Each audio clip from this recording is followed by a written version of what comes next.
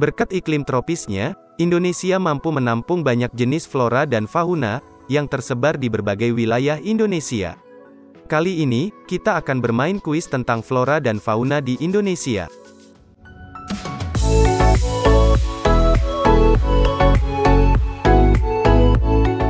Satu.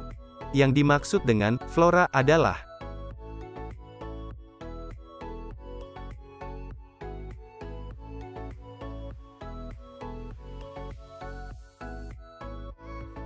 Berdasarkan KBBI, flora adalah keseluruhan kehidupan jenis tumbuh-tumbuhan suatu habitat, daerah, atau strata geologi tertentu, alam tumbuh-tumbuhan.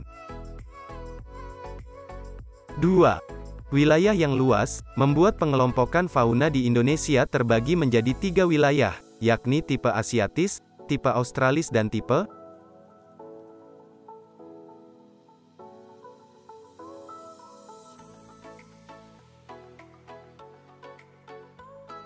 Persebaran fauna di Indonesia dibagi menjadi tiga tipe, yaitu tipe Asiatis, bagian barat tipe peralihan, bagian tengah, dan tipe Australis, bagian timur. 3. Persebaran fauna Indonesia bagian barat disebut tipe Asiatis, ini dikarenakan fauna di bagian barat secara keseluruhan hampir sama dengan jenis fauna di benua Asia. Fauna khas kawasan bertipe Asiatis, antara lain,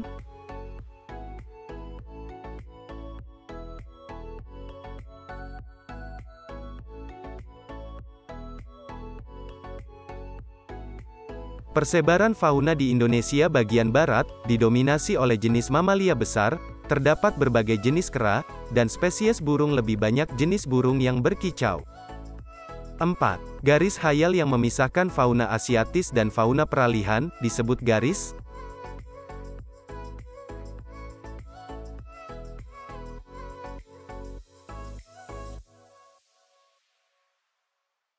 Garis Wallace adalah garis yang memisahkan Indonesia bagian barat dan Indonesia bagian tengah.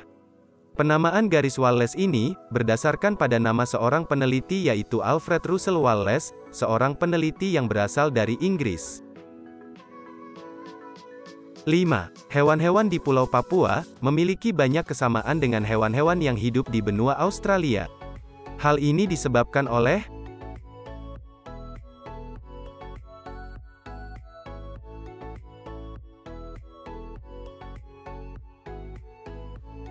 Pulau Papua terbentuk dari lepasan lempeng Australia jutaan tahun lalu. Karena itu, flora dan fauna yang hidup di Papua punya banyak kesamaan dengan yang hidup di Australia. Bahkan, sejumlah hewan yang di Australia dianggap sudah punah, diduga masih berkeliaran di belantara Papua. 6. Salah satu ciri flora Australis adalah memiliki daun paralel yang bentuknya memanjang, contohnya,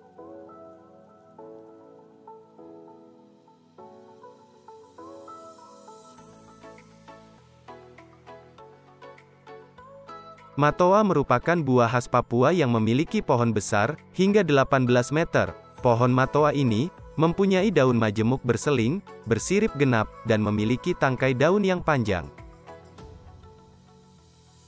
7. Flora ini banyak ditemukan di provinsi,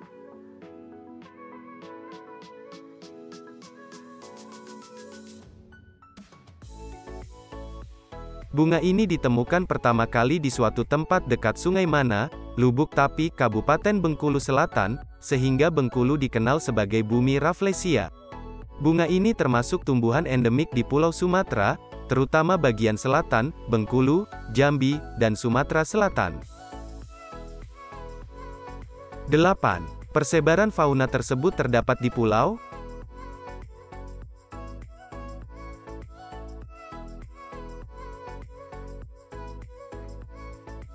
Kuskus merupakan hewan berkantung, atau biasa disebut hewan marsupial dan aktif mencari makanan di malam hari. Besarnya pun hampir serupa dengan kucing. Kuskus banyak ditemukan di Indonesia, terutama di bagian timur seperti Papua, Sulawesi, dan Maluku. 9. Anggrek hitam adalah flora endemik di pulau,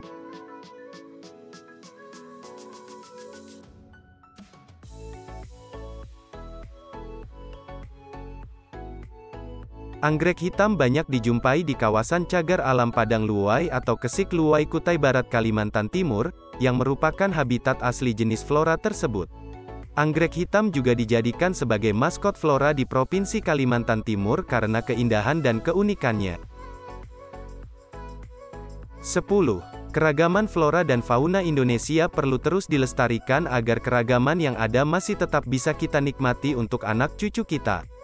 Berikut ini yang termasuk usaha dalam menjaga keragaman flora dan fauna Indonesia adalah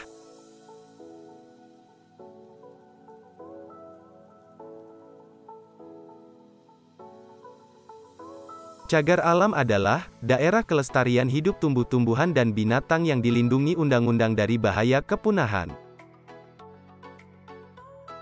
Jadi, ada berapa pertanyaan yang berhasil kalian jawab dengan benar? Tulis jawaban kalian di komentar ya.